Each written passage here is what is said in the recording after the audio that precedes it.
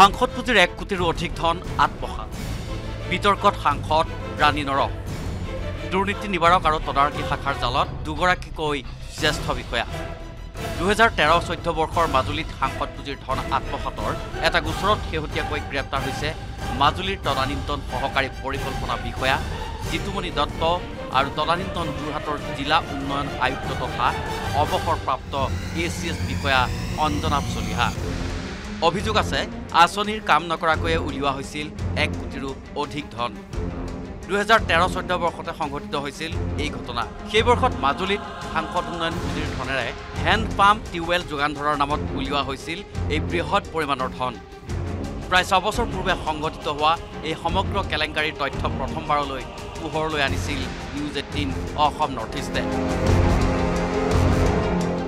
ষোল্ল জানুৱাৰী দুহেজাৰ চৈধ্য একেখিনি কথাই লিখা আছিলে ওঠৰ লাখ পঁয়সত্তৰ হাজাৰ টকা এডভান্সকৈ। আগতীয়া আগধন পৰিশোধ কৰিব লাগে। যি M P M L A M P L A D fund আছিলে তাৰ টকা হয়। ওঠৰ জানুৱাৰী দুহেজাৰ চৈধ্য তাৰিখে প্ৰেৰণ কৰিছিলে তদানীন্তন উপায়ুক্ত বিশাল বচন চোলাংকীলৈ একে সেই ঠিকাদাৰী প্ৰতিষ্ঠানটো ওঠৰ লাখ পঁয়সত্তৰ হাজাৰ টকা পৰিশোধ কৰিব লাগে। আৰু তাৰ পিছত এখন পত্ৰ আমি দেখুৱাইছোঁ যে সেই পত্ৰখন প্ৰেৰণ কৰিছিলে বিছ জানুৱাৰী দুহেজাৰ চৈধ্য তাৰিখে। একে কথা উল্লেখ আছিলে যে এডভান্সকৈ অৰ্থাৎ কাম নকৰাকৈয়ে এনেধৰণে প্ৰায় পঁয়সত্তৰ লাখ টকা পৰিশোধ কৰিবৰ বাবে ৰাণী নৰহ তদানীন্তন সাংসদ ৰাণী নৰহে উপায়ুক্তলৈ লিখিছিলে। আৰু তাৰ পাছতে নিউজ এইটিনৰ অনুসন্ধানত পোহৰলৈ আহিছে এই কেলেংকাৰীয়ে সেই সময়ৰ সাংসদ ৰাণী নৰ জড়িত থকাৰ তথ্য।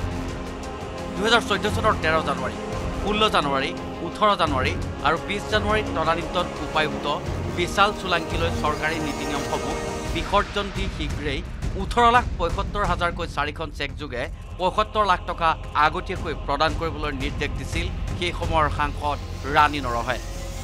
এতিয়া সকলোৰে প্ৰশ্ন এই গোচৰত তদানীন্তন সাংসদ ৰাণী নৰহ তদন্তৰ আওতালৈ আহিবনে নাই?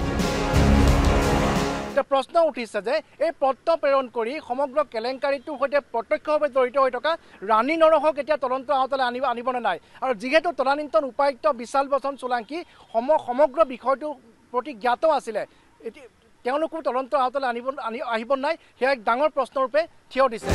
যোৰহাটৰ পৰা গৌতম বৰাৰ report news eighteen Assam north east.